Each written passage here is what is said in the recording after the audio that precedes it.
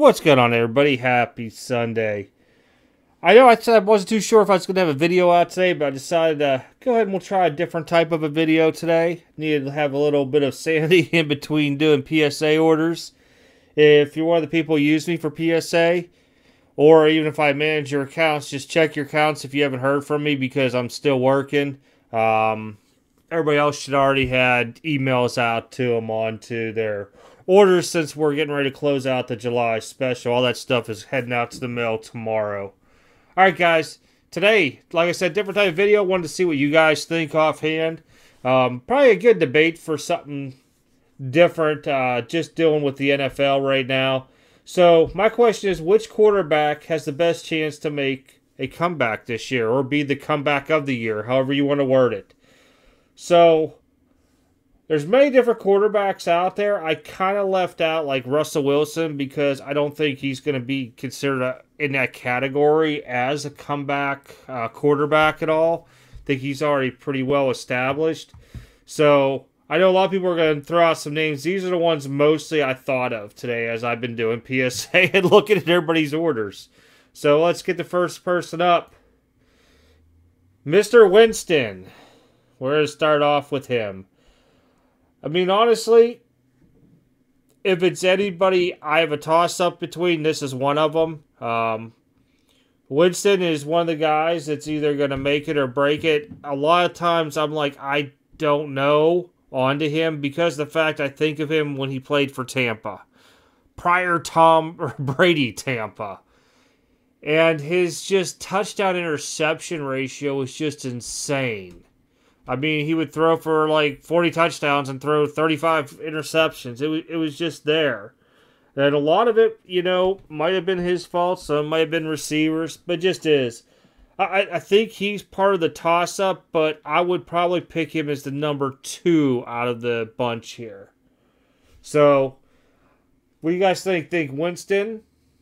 Could he be the comeback player of the year? For quarterbacks only. It's only quarterbacks. Let me go down here. I gotta get each one on and off here with the pictures. You know how much fun that is. Coming out of the same rookie class as Winston. How about Marcus Mariota? I mean, I looked at this picture. I was like, that doesn't look like Marcus Mariota. I did like triple check it today because I was like, is that really him? He's real. This shows. Uh, what has that now been? Seven years since I really seen a picture of him. He's really changed. Yeah, I mean, you can just tell like an older maturity face onto. But honestly, I don't think Mariota is going to have a chance at comeback player of the year or comeback quarterback of the year or even be talks into it. But you never know. I mean, they could have a, uh, some stud receivers that just do breakout things this year, and he does get it offhand. But I just, I'm not really willing to put my money on Marcus Mariota. All right, next one up. And like I said, this was all triggered because I've been doing uh, a PSA all day today. I've just been looking at what everybody's sending in these July specials. All right, next one. Matt Ryan, now home with the Colts. I mean, possibility, and I don't really, I guess you could say, give Matt Ryan a whole lot of crap because of his time in Atlanta. His playing time has dwindled away. He has a nice young receiving corps up there. He does have Jonathan Taylor in the backfield. I just don't think it's going to help enough. Um, just from what I've seen, and I know I've talked about this with some of you guys um, personally too. I just think he's really aged hard with his throwing arm and everything else. not saying he hasn't done a phenomenal job. He's not a great quarterback, nothing like that. It's just I think uh, old father time caught up to him. But even though, you know, he's on a good team, I just want to know does he still have an arm or not? Is he still going to be able to put the ball out there? Is he still going to be accurate, you know, out 20, 30, 40 yards down the field? I guess we'll see. I guess we'll see on to it.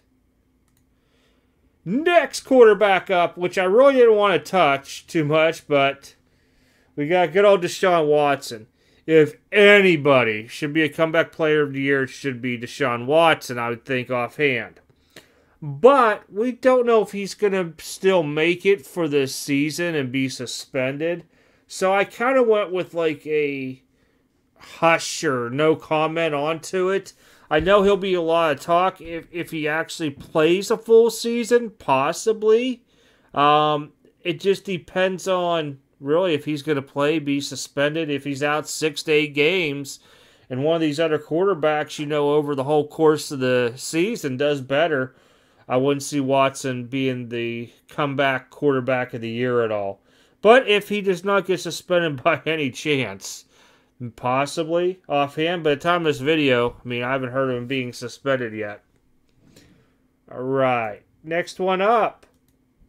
The man he replaced, Baker Mayfield. Believe it or not, I couldn't find anything in the Carolina Panthers uniform yet. And I know, I know, this picture just kind of makes him look smug and funny and stuff, but Baker, I, I'm really to think about this here. If I think he does enough in Carolina to where he's okay, but I don't think he does enough to really put him as an established quarterback. If that makes sense. If he starts, I think he'll do all right out there. I just don't think we're going to see like super stud numbers off of him offhand.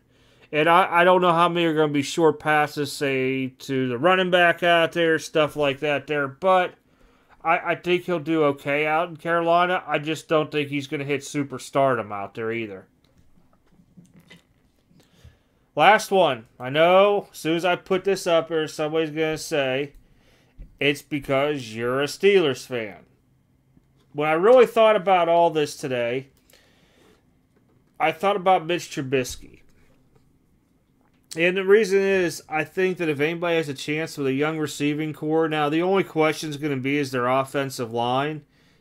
Is, is he going to do well? And is the organization going to stick with him through thick and thin through a few games to get, you know, used to it and not throw Pickett out there to the Wolves? Now, granted, if Trubisky gets hurt, I got it.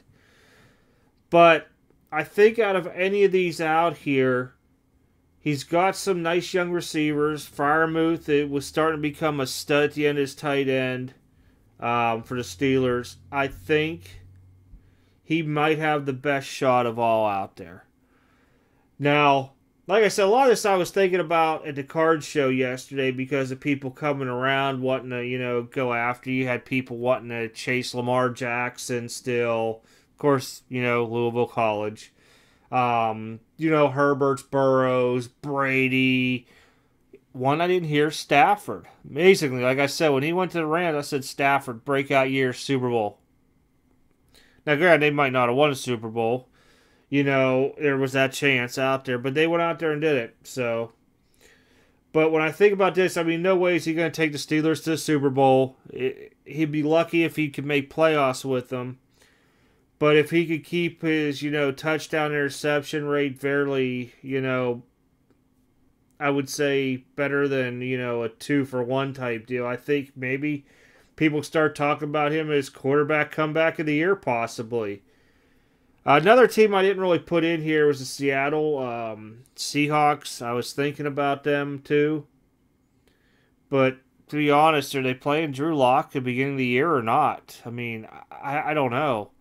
I believe Jacob Eason's still on the team. I really didn't look a whole lot onto it.